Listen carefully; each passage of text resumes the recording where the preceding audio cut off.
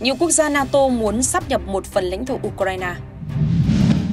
Cờ Nga tung bay ở thị trấn New York. Quân đội Ukraine dùng lực lượng dự bị cuối cùng. Máy bay chở thiếu tướng Nga và vợ bị rơi. Ông Putin gửi thông điệp trước khả năng Iran tấn công Israel. Xin kính chào quý vị khán giả đang theo dõi chương trình Thời sự quốc tế, được phát sóng hàng ngày trên kênh YouTube Thế giới nghiêng.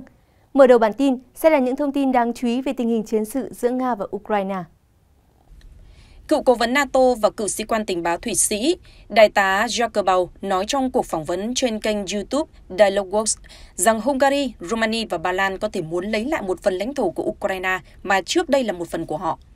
Ông Bao nói, Tôi thậm chí còn không đề cập đến thực tế là có một số quốc gia láng giềng, chẳng hạn như Ba Lan, Hungary và Romania, có thể muốn lấy phần lãnh thổ trước đây thuộc về họ.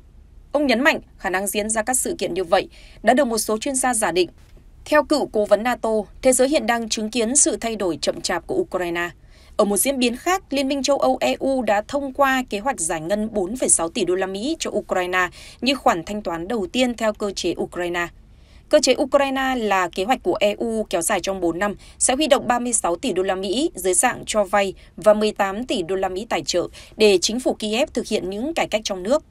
Trước đó, EU đã phê duyệt cơ chế Ukraine vào tháng 2 và Hội đồng EU đã phê duyệt thỏa thuận khung vào giữa tháng 5, đặt ra các mục tiêu để Kiev sử dụng nguồn tiền nhằm phục hồi tái thiết và hiện đại hóa đất nước.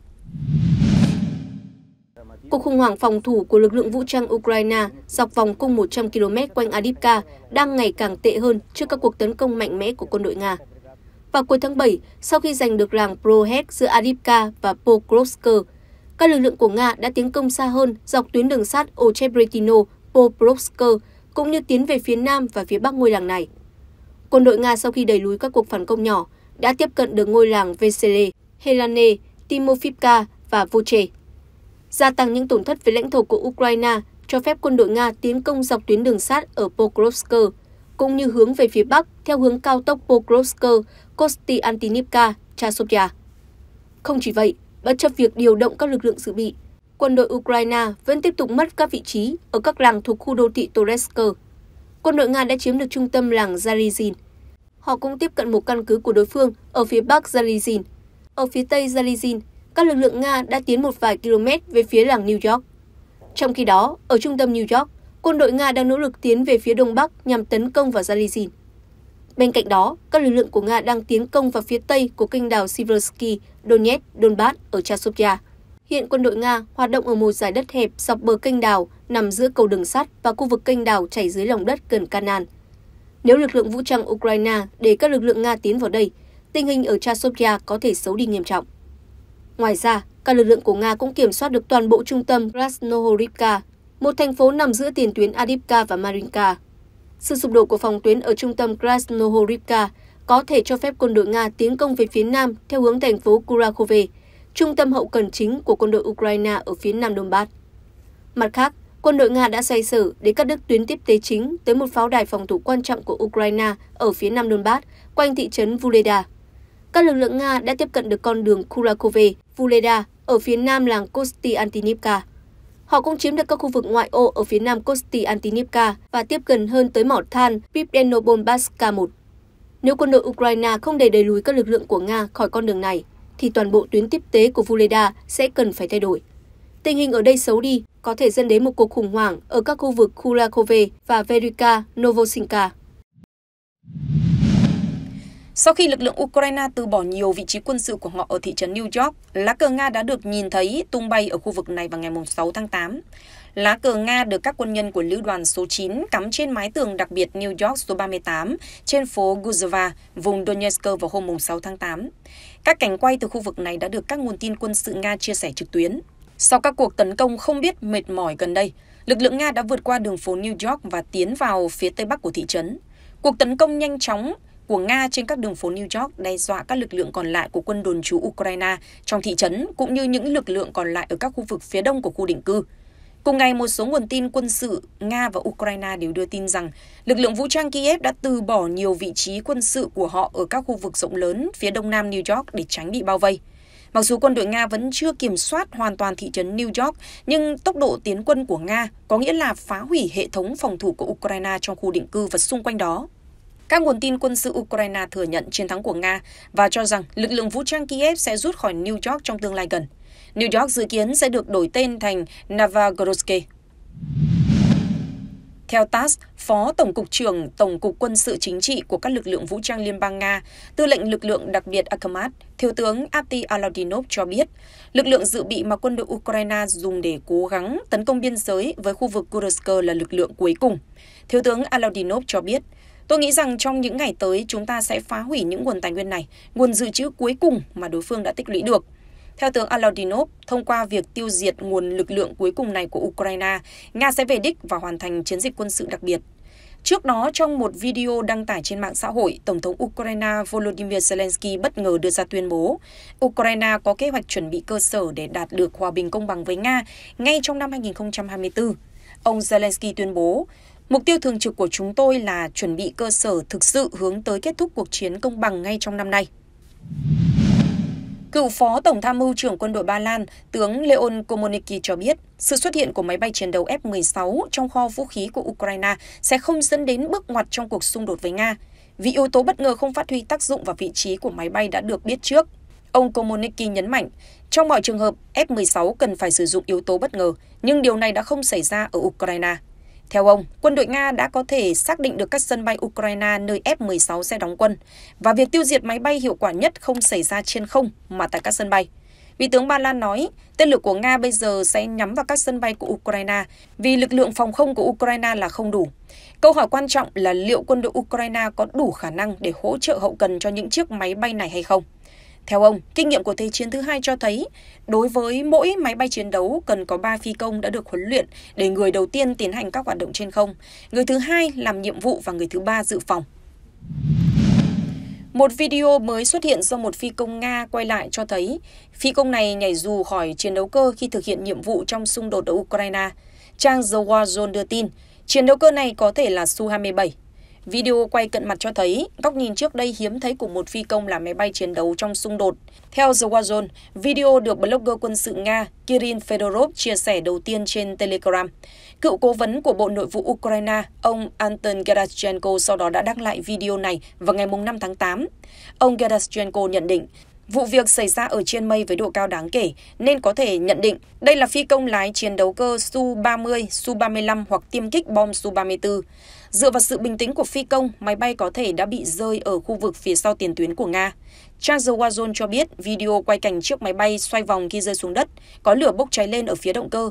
Báo giới Mỹ nói khó có thể biết máy bay Nga bị bắn rơi là loại nào, nhưng nêu thêm giả thuyết là chiến đấu cơ Su-27. Không quân Ukraine vừa lần đầu tiên đăng tải hình ảnh khai hỏa tên lửa hành trình Storm Shadow tấn công mục tiêu quân sự Nga. Theo Forbes, đoạn video được đăng tải nhân sự kiện kỷ niệm 20 năm ngày thành lập lực lượng, trong đó có cảnh hai tên lửa hành trình Storm Shadow được gắn dưới mấu treo của cường kích Su-24. Hai quả tên lửa xuất hiện trong video có một quả in cờ Anh, trong khi quả còn lại in cờ Pháp, được Paris gọi với tên khác là Escal Eagle. Chiến đấu cơ Su-24 sau đó bay trên không, rồi thả liền một lúc hai tên lửa Storm Shadow được cho là nhắm vào mục tiêu Nga. Ít nhất một quả đạn đã lao xuống khu vực có nhiều tòa nhà đang bốc khói, dường như do chúng tên lửa được phóng trước đó, song không rõ địa điểm. Căn cứ vào địa hình ở phía dưới trong cảnh cường kích Su-24 phóng tên lửa, Fox nhận định phi cơ đã tấn công ở độ cao khoảng 500 m và mục tiêu bị tấn công cách tiền tuyến 80 đến 90 km. Trung Quốc mới đây đã giới thiệu mẫu UAV cảm tử PD2900 mà họ tạo ra. Đây được xem như phiên bản hai động cơ của dòng Jordan 2 của Nga với họa tiết ngụy trang tương tự tiêm kích thế hệ thứ 5 Su-57. Nhà phát triển khẳng định rằng thời gian bay của thiết bị này là 12 giờ với tầm hoạt động lên tới 2.500 km và tốc độ khoảng 200 km h Cần lưu ý rằng các chuyên gia từ Trung Quốc không mất nhiều thời gian để tạo ra phương tiện không người lái này. Cụ thể, họ đã tận dụng kinh nghiệm chiến trường của Nga và thực hiện một số hiệu chỉnh riêng. Nhưng điều khó hiểu là chiếc PD2900 được trang bị tới hai động cơ cánh quạt. Điều này phần nào làm phức tạp việc thiết kế và vận hành thiết bị. Phương tiện chiến đấu này có khả năng mang theo tải trọng nặng 100 kg. Nó được trang bị bình xăng bằng vật liệu Kevlar chống cháy nổ với dung tích 160 lít. Bên cạnh đó, hệ thống điều khiển cũng có khả năng bảo vệ chống nhiễu nhảy tần. Trong một diễn biến đáng chú ý, Army Recognition dẫn thông tin từ công ty phát triển máy bay không người lái góc nhìn thứ nhất Virtual cho biết, Nga đã bắt đầu triển khai UAV sử dụng trí tuệ nhân tạo AI tới Ukraine. Hai mẫu được triển khai gồm Virtual 10 và Virtual 13 có tải trọng lần lượt là 3,5 kg và 8 kg. Cả hai mẫu đều có thể tấn công mục tiêu cách xa tới 20 km và đạt tốc độ 150 km/h. Đặc điểm nổi bật của những UAV này là được trang bị AI, cho phép máy bay tự động bay về phía mục tiêu và tấn công mà không cần thêm sự can thiệp của con người. Điều này giúp giảm đáng kể khối lượng công việc của người điều khiển. Bên cạnh đó với AI, các giai đoạn tấn công cuối cùng được tự động hóa, giúp giảm thiểu tác động của việc gây nhiễu tín hiệu, cho phép phương tiện hoàn thành nhiệm vụ của mình ngay cả khi mất liên lạc với người điều khiển. UAV này đã trải qua quá trình thử nghiệm nghiêm ngặt và đạt được những chứng nhận cần thiết từ cơ quan chức năng của Bộ Quốc phòng Nga. Hiện có tới 3.000 UAV được triển khai mỗi tháng tới Ukraine. Truyền thông châu Âu đưa tin, các chính phủ thành viên Liên minh châu Âu đã phê duyệt khoản thanh toán thường xuyên đầu tiên cho Ukraine là 4,2 tỷ euro, tương đương với 4,58 tỷ đô la Mỹ, trong số 50 tỷ euro mà EU đã dành để hỗ trợ tài chính cho Kiev.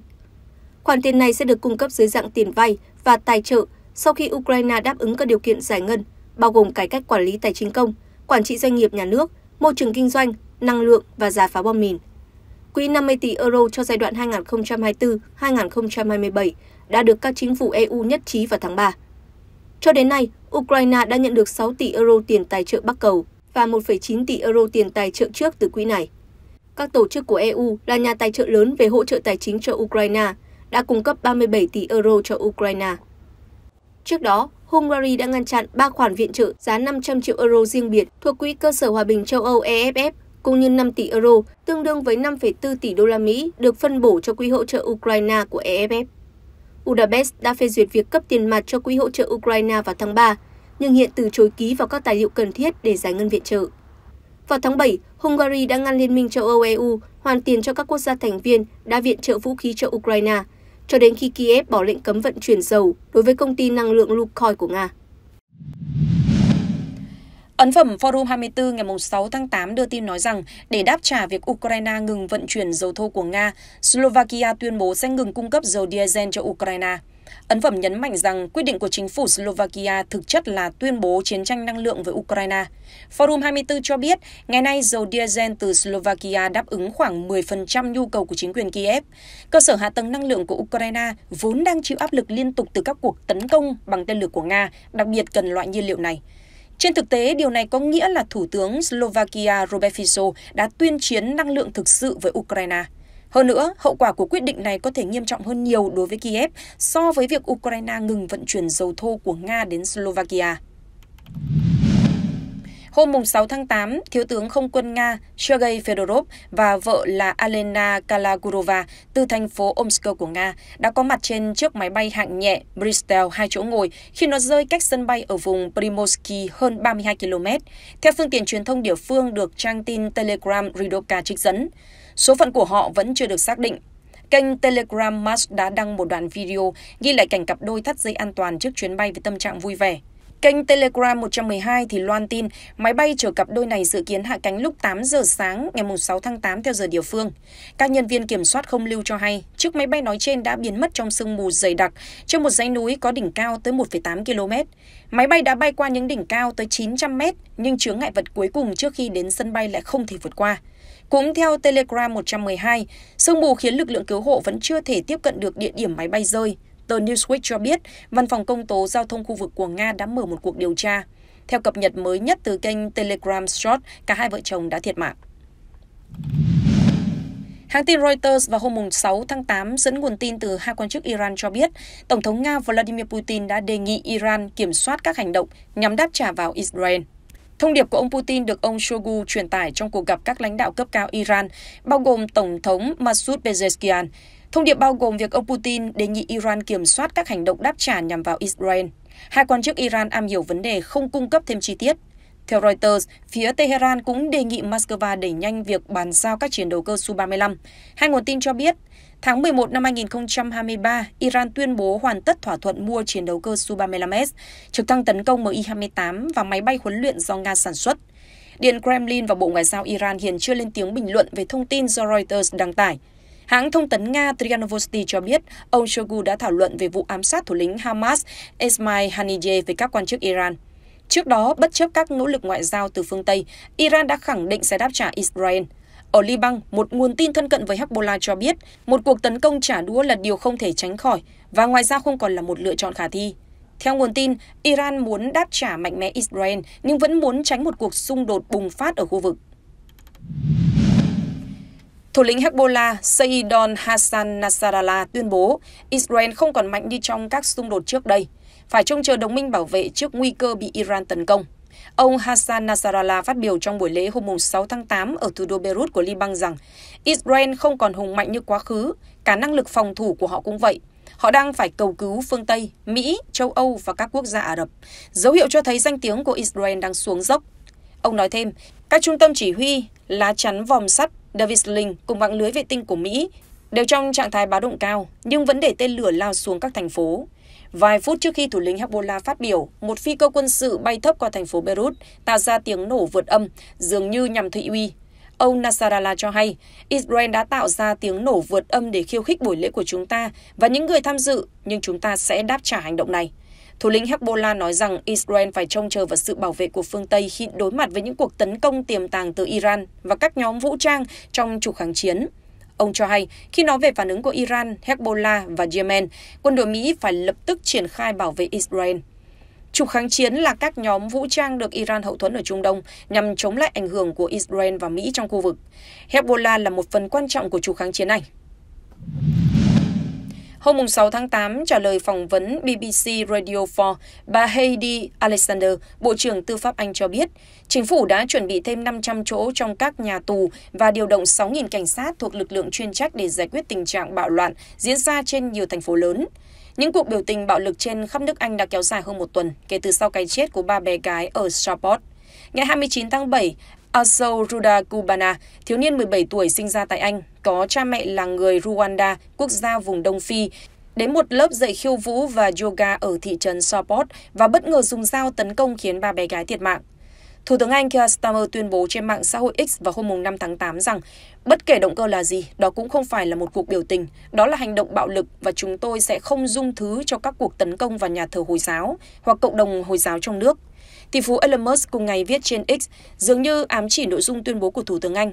Vậy ngài không lo lắng về các cuộc tấn công nhằm vào những cộng đồng khác hay sao?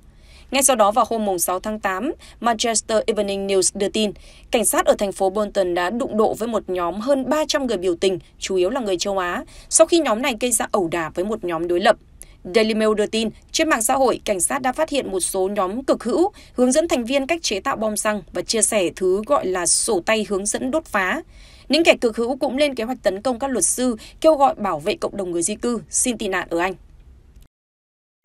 Thông tin vừa rồi cũng đã khép lại chương trình được phát sóng trên kênh youtube Thế giới nghiêng. Cảm ơn quý vị đã quan tâm theo dõi. Xin kính chào tạm biệt và hẹn gặp lại.